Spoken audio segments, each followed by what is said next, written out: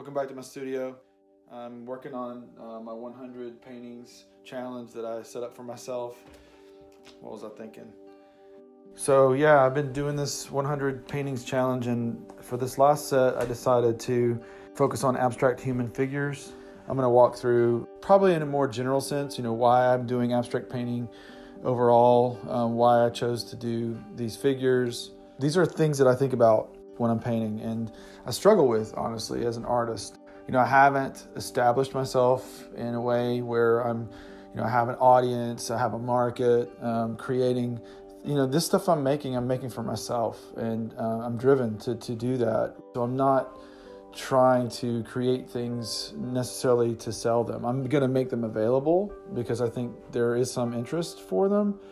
But yeah, I'd paint these either way. Uh, these are things that I'm, I'm going to be working on no matter what, whether they're going to sell or not. But if it's not for money, what you know, why do I do this? And I, you know, again, I ask myself this a lot. For whatever reason, it comes up in my mind. You know, why why do I create these things? Why am I trying to make art? I think the most obvious answer for me is it's an escape. You know, it allows me to use a part of my brain maybe that is less logical and, and sort of dive a little deeper into more of a meditative, trance like state, I, I, guess you could say.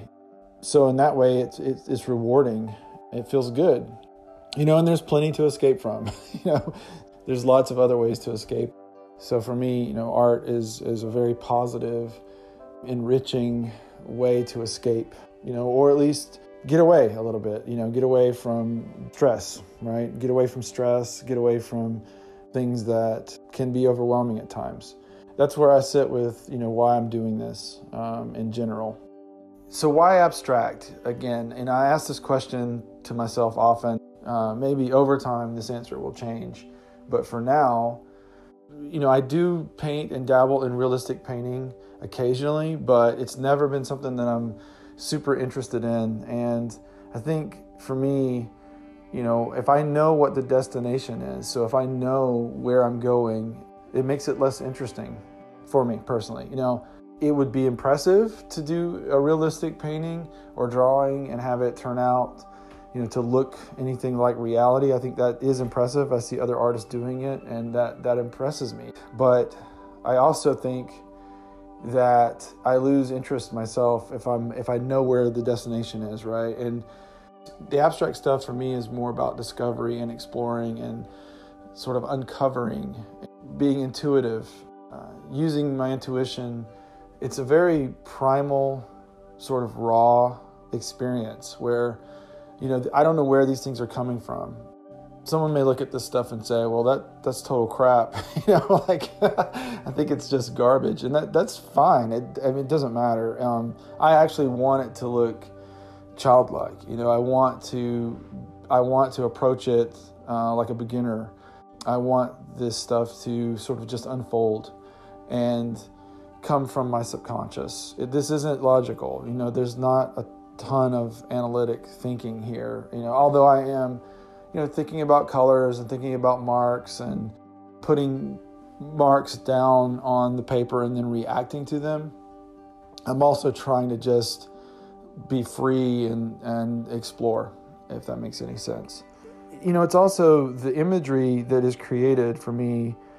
Uh, like I said, it's it's raw, it's primal to me, but it also leaves some room for interpretation. You know, art is subjective for sure, but when you create an image that's a little more open for, even more open for interpretation, I think that it's more meaningful and, and thought provoking. You know, it's suggestive. You know, each viewer is going to see something different.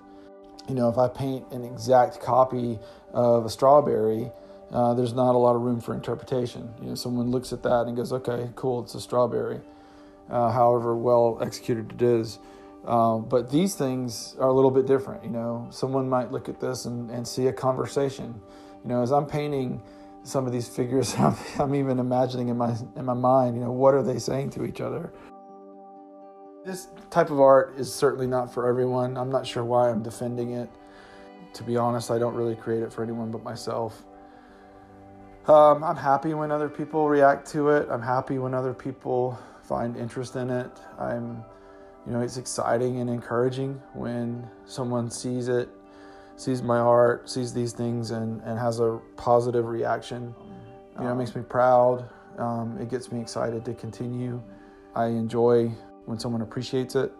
But I'm, I don't know. I'm on a, I'm on a sort of a lifelong journey to to discover meaning and truth for me through art and this is just where I am at this stage and, and what I'm doing. And you know but I am interested to hear if people see something positive have ideas about where they think I should take this. I'm open to hear those things and and happy to continue to explore different avenues.